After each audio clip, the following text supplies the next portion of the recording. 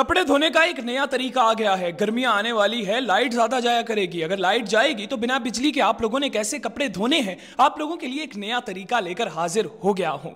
नाजरीन, इस वीडियो को अपनी माओ के साथ ज़रूर शेयर कीजिएगा। इस नए तरीके से वो बिना थके आराम से कपड़े धो सकती हैं बिना बिजली के। नाजरीन, करना यह है कि आपके घर में कोई भी साइकिल होगी। हर किसी के घर में साइकिल तो ज़रूर मौजूद होती है। आपने एक साइकिल लेनी है। साइकिल लेने के बाद आपने एक बाल्टी लेनी है, जिस बाल्टी में आपने कपड़े धोने हैं। कोशिश ये करना है कि उस बाल्टी की हाइट थोड़ी ज़्यादा ना हो, थोड़ी कम हो। नाजरीन, उस बाल्टी के अंदर आपने वो कपड़े डाल देने हैं, जो कपड़े आपने धोने हैं। ना सिर्फ़ कपड़े डाल देने हैं, बल्कि आपने सर्फ, जिससे भी आपने कपड़े धोने हैं, वो सर्फ भी डाल देना है और उसके बाद अपने हाथ के ज़रिए से साइकिल के पैडल को घुमाना शुरू कर देना है। आप साइकिल के पैडल को घुमाते जाएँगे, आपके कपड़े अंदर घूमते जाएँगे। वॉशिंग मशीन का भी यही काम होता है। नाजरीन, जिस वॉशिंग मशीन में आप कपड़े धोते हैं, उसके अंदर एक स्पिनर होता है। जब आप बिजली चलाते हैं और बिजली से उस वॉशिंग मशीन को चलाते हैं तो वो स्पिनर घूमता रहता है, कपड़े घूमते रहते हैं और वो धुल जाते हैं। इसी तरह, बस आपने अपने हाथ से पैडल घुमाते रहना है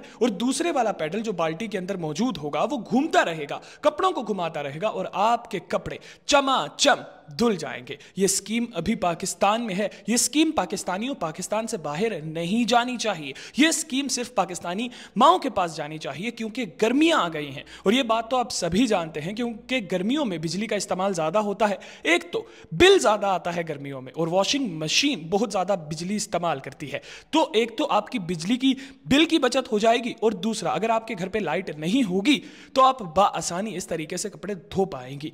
माओ मुझे शुक्रिया कहना ना भूलना। शुक्रिया।